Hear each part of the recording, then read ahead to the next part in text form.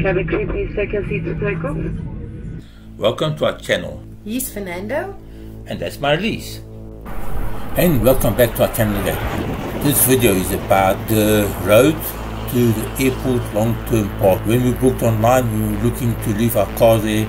Uh, we looked online, we couldn't really find much on where the place exactly was. The airport, the airport with all its interconnections and all those slipways it becomes very difficult to find certain parts if you don't know about the airport. You don't go to the airport on a daily basis. So on the right hand side you've got the R21 highway that uh, then feeds into the main road that goes uh, into the airport roadways and where the long-term parking is. It's quite easy but if you don't know you don't know which is our case and this is the purpose of making this video that we can share our experience how we can get there from this side. Yes there is the other side come from Pretoria.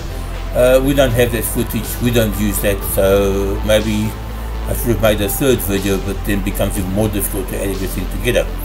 So on your right hand side it's like when you're coming on the R21 from places like East Rand Mall, Boksburg, Benoni when you come from that side. On the left hand side when you come from the R24 from Edenvale, from the M2 on the other highway when you come from Joburg, Sandton. Okay, so you end up over here, so you, you, you've seen how the two roads come together. It's you now on one video instead of having the two split roads. Uh, a few little more turns uh, to find it.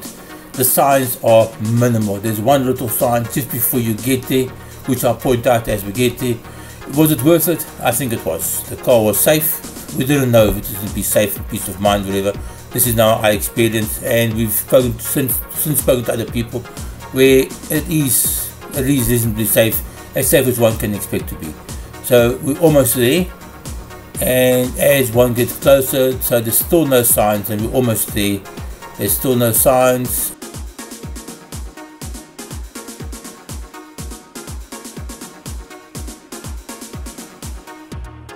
The bridge on top is the Gautrain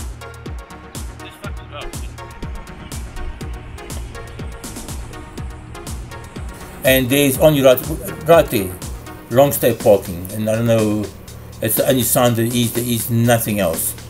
Uh, the parking that we booked is done here. There's a little sign there. The little sign left hand side the little turquoise sign. That's it. There is no other sign. It's not like uh, clearly marked. Maybe not that many people make use of this uh, sort of thing. So whatever card you use to make the booking that card you use to open the boom gate Thanks for watching, hope this has been helpful.